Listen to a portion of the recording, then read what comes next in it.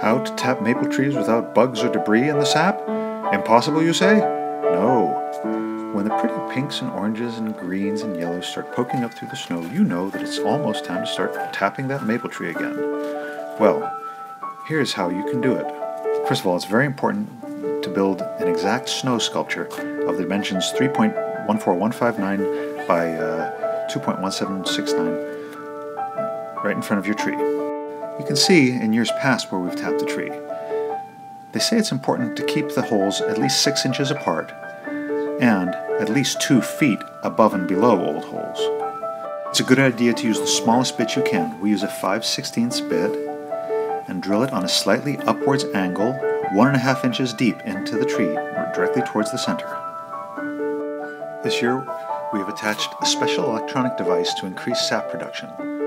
Actually, it's basically just to make the tree look even prettier than it already is and to help it feel better. Here's our new invention. Get a one gallon milk jug or water bottle. Use the blue tubing used specifically for maple syrup tapping. Cut a hole in that milk jug cap just big enough to allow the tube to fit tightly. Somewhere around there. Cut a tiny little hole in the milk jug handle. And then build a little device to hold it so it won't blow over. And so this way it does not have to hang off the tree. I don't think the tree likes having a milk jug hang off of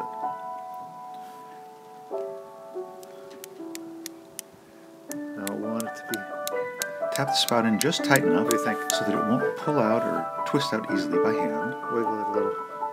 If it's loose, tap it in a little more. Then attach your tube to the milk jug. If you don't drill a hole in the milk jug, the sap will not flow into it. When the temperature is above 40 during the day and around 20 at night, sometimes you'll have to fill up two or three of these jugs each day.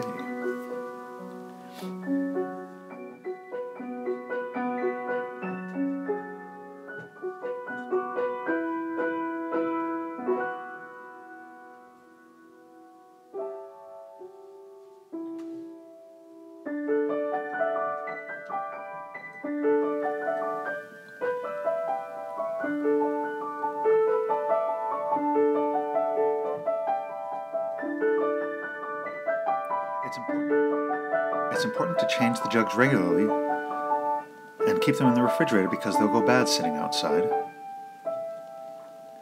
And most importantly, don't forget that maple syrup time is the most joyous time of the year, and we should celebrate it every day.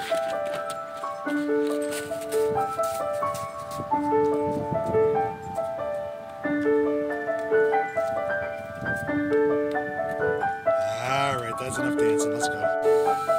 Some people say don't boil the maple sap inside the house. I love the smell of it.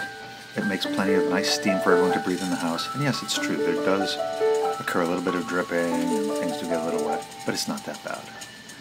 If you put two gallons of maple sap and boil it down, it makes just about one small mason jar of syrup.